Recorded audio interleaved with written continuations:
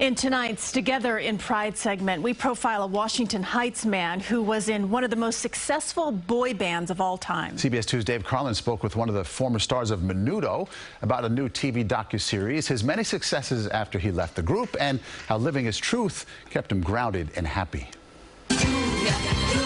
Earlier this month at the National Puerto Rican Day Parade in Manhattan, this blast from the past rolled by and the crowd roared its approval.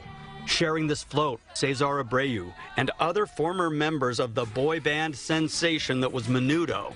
I felt proud to be in the float with them. He was a standout Menudo member and was 12 when he joined in 1990. He is featured in a new HBO show. There I am, right there. I see you.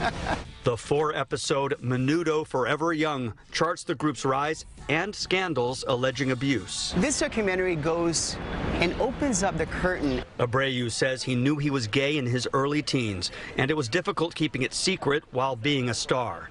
He says he was bullied. That didn't feel safe.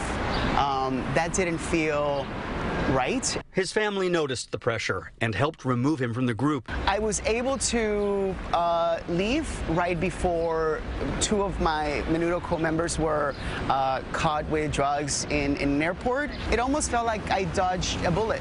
He did not miss a beat. He moved to Miami at age 14, the same year he came out as gay. Without authenticity and honesty, you are bound to live a very unhappy life.